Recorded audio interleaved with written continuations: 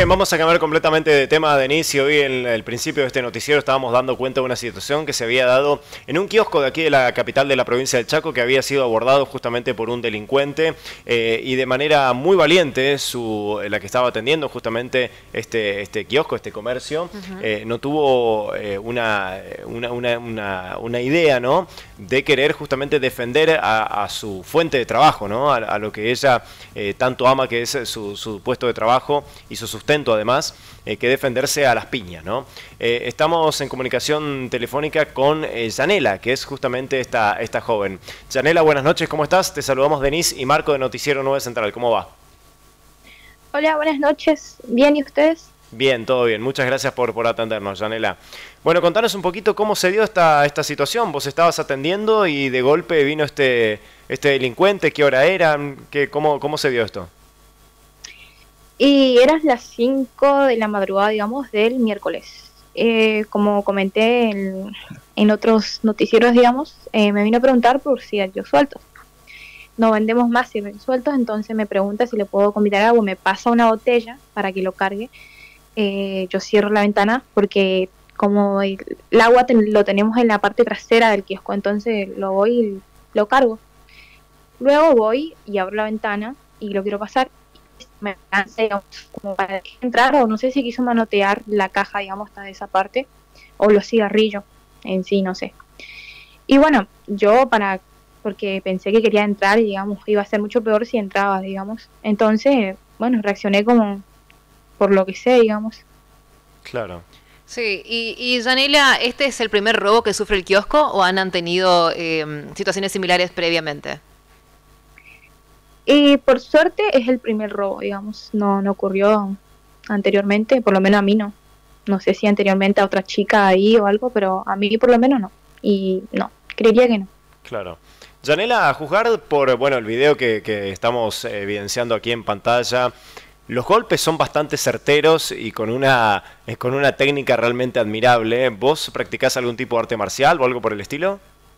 Eh, sí, practico kickboxing, es boxeo con mezcla de patadas, digamos. Ajá. ¿Y volcaste eso que, aprendiste, digamos, en las clases hacia este delincuente? Exacto, sí.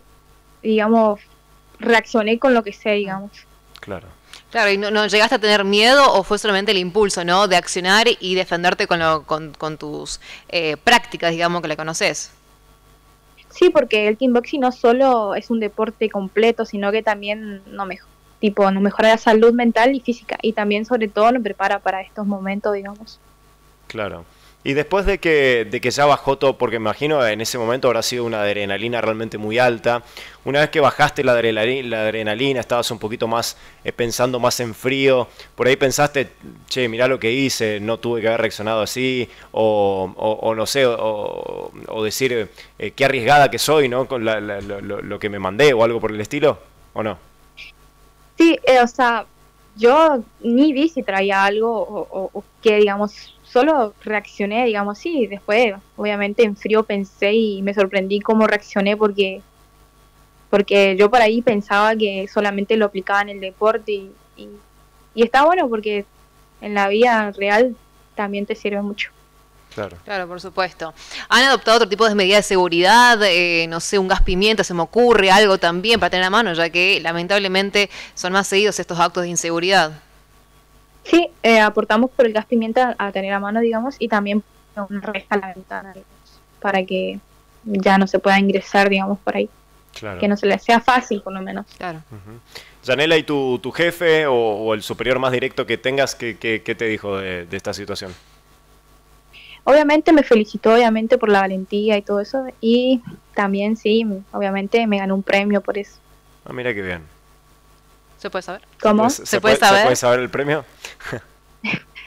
y digamos que una gratificación económica. Ah, muy bien, excelente. No, está muy bien. Claro, porque salvaste nada más ni nada menos que la caja registradora. ¿Cómo? Salvaste nada más ni nada menos que la caja registradora. Eh, no lo escucho bien, se escucha borroso. Eh, ¿Ahí nos escuchás, Anela? ¿Mejor? Eh, se escucha como con ruido, digamos. no, no tan bien. Claro. Te decía que salvaste la caja registradora, nada más ni nada menos. Y sí, dentro de todo sí, igual por más que se balance un poquito más, no sé si lo voy a poder agarrar porque estaba un poquito más abajo, pero, pero sí, eh, digamos, en sí, el kiosco, porque si llegaba a entrar, no sé, igual de todas formas yo sé que iba a reaccionar, pero iba a ser mucho peor, digamos, porque no sé si tenía algo o algo así nomás, digamos. Claro. Él en ningún momento te mostró nada, ¿no? Ningún cuchillo, ningún arma, ¿no?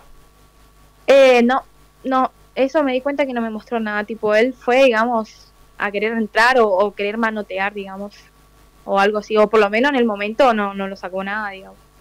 Claro. ¿Vos, ¿Vos sentís, Daniela, que por ahí, o por lo que percibiste, digamos, de él, que estaba bajo alguna sustancia?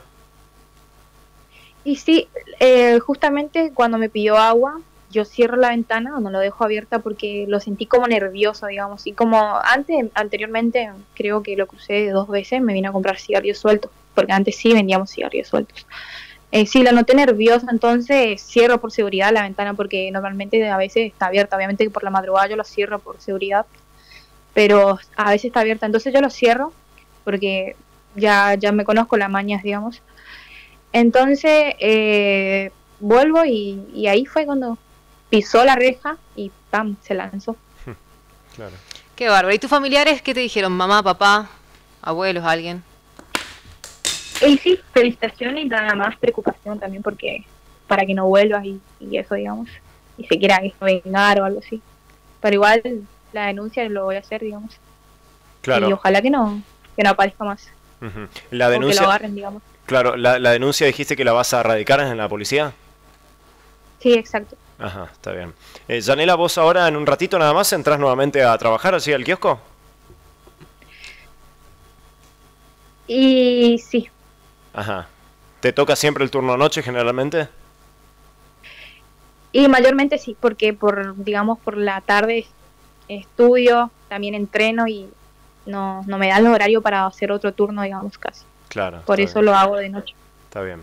Eh, ¿Y vas a tomar algún tipo de recaudo ahora que, bueno, por esto que te pasó? ¿Cómo? Digamos, más atenta o algo así. Sí, o algo por el estilo, o, encerrarte más, lamentablemente, eh, por ahí atrás de una reja o algo, o algo así.